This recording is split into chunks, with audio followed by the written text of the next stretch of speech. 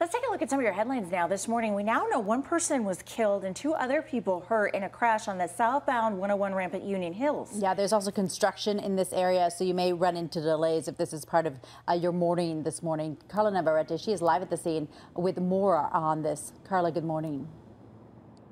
Yeah, good morning to you, ladies. I'll tell you this off ramp is split, meaning there's an interior off ramp and then an exterior one. The exterior one that takes you to Union Hills remains open, but it's that interior one where the accident happened. We're going to go ahead and show you some of that video of the accident happening at about 1:30 this morning. It's a single vehicle accident, and the person in that accident, uh, the driver did die, but there were two other people who were also sent to the hospital this morning, and at this time, we're not aware of exactly exactly what their condition is. Now, DPS, the Department of Public Safety, says that uh, this investigation is ongoing.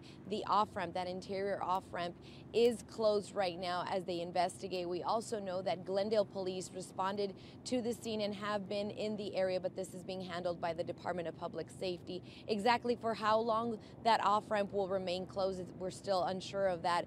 That is looks to be a turnaround off ramp, meaning that it leads you right back onto the freeway on the northbound lanes. That is what we're thinking where this accident happened. Now, again, this is a single vehicle accident happening at about 1.30 this morning. We do know that some family members did arrive here on scene at around 4 o'clock this morning, none of them wanting to talk to us uh, at that time. Again, DPS is handling this investigation, and if you're in and around this area, just know that there is some uh, maintenance and some closures going around in this area, and also that accident that is slowing traffic down in the West Valley. For now, reporting live at the Loop 101 freeway at Union Hills, I'm Carla Navarrete. Back to you ladies in the studio.